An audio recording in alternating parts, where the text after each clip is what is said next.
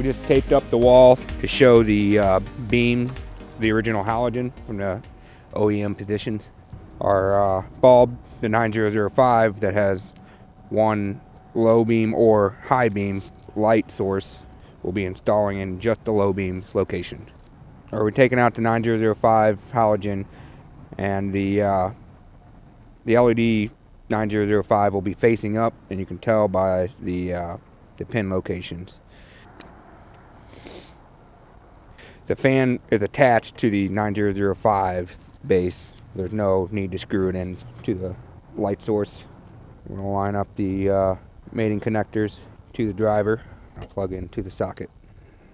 And we're going to test it. Now we're working on the other headlight.